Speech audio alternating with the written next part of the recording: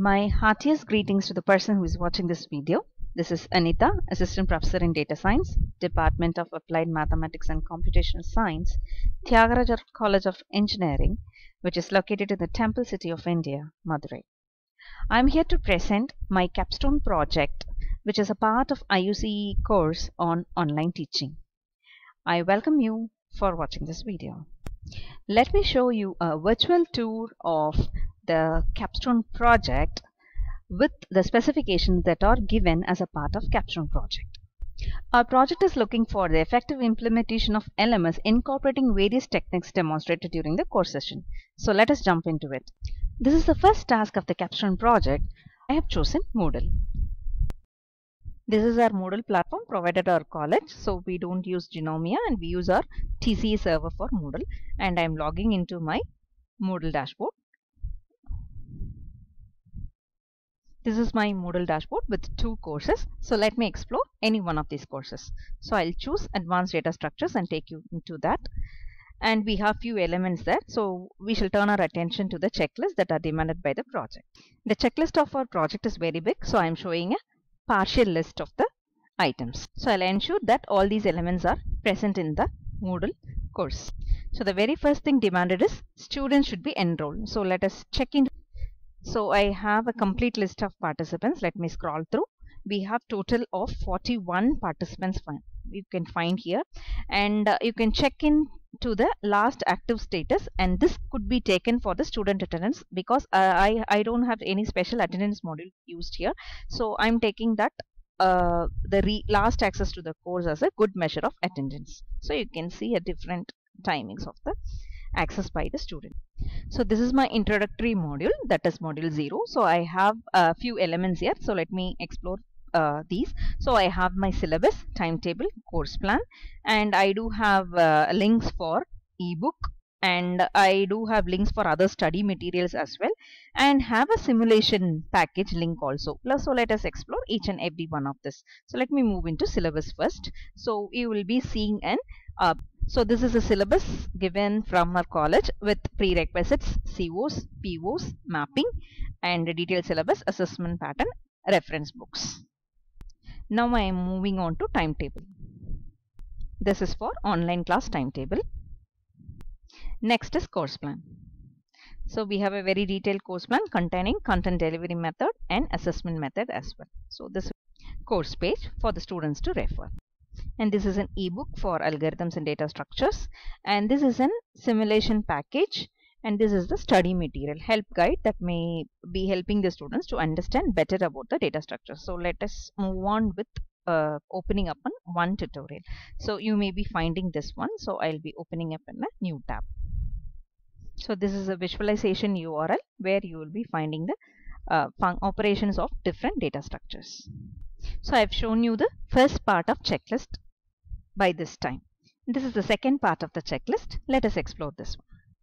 All my meeting hours, contact hours are uh, informed to the students only through announcements. So by looking into the announcement, we shall know about uh, what are the contents that are uh, that need to be informed uh, day by day. So i have a announcement on class test i have announcement of quiz and i have also have uh, an information about my contact hours and meeting hours. So in this page you may be finding my contact hour is as per the timetable and meeting hours is 5 to 9 pm in the whatsapp or email. As uh, we do have only online interaction now also, a course level discussion forum is launched to get the appreciations and grievances regarding the course year. So this is a place where students will be recording. So usually they, they record through the Google Forms and WhatsApp. But uh, for this course, I have asked them to record uh, their appreciations and grievances here and I'm waiting for uh, their comments. Coming to the modules, I have two different modules as of now and I'll show you how uh, pre-recording is done and how recording live lectures are recorded. So I used to take class in Google Meet and hence all the recordings in the Google Meet are linked to this Moodle so that the students can watch it anytime. And all my class presentations and lecture notes are getting converted into PDF and immediately posted to the Moodle. So hence with the combo of this class presentations and uh, lecture notes and with this uh, recordings the student will have an uh, uh, extra understanding of the concepts explained in the class. Let me um, show you an uh, live recording session as well as a pre-recorded lecture.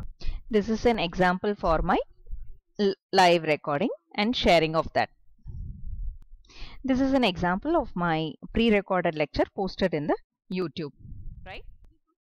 We come to the next another option. What? That's it. By pre-record. So I'll show you the assessment part. I have one quiz launched and two assignments launched. So let me go with one of the quizzes.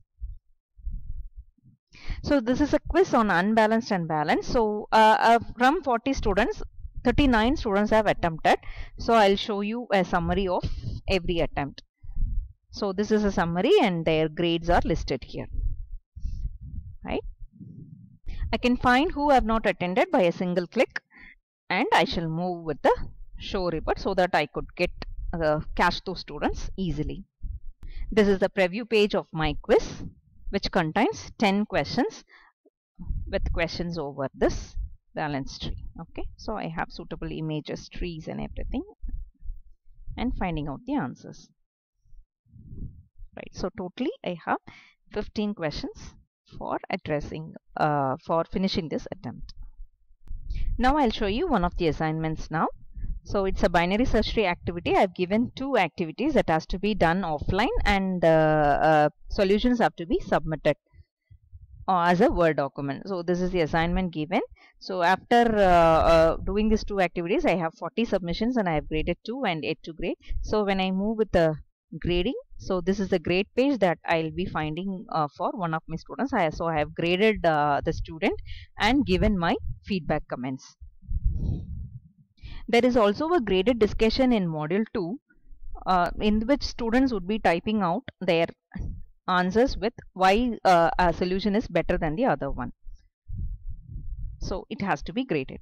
Also for enabling the students to discuss about a, a topic without uh, grading them, I have launched a discussion for the particular topic and I've asked them to pose their concerns, questions, new ideas and apprehensions related to that topic.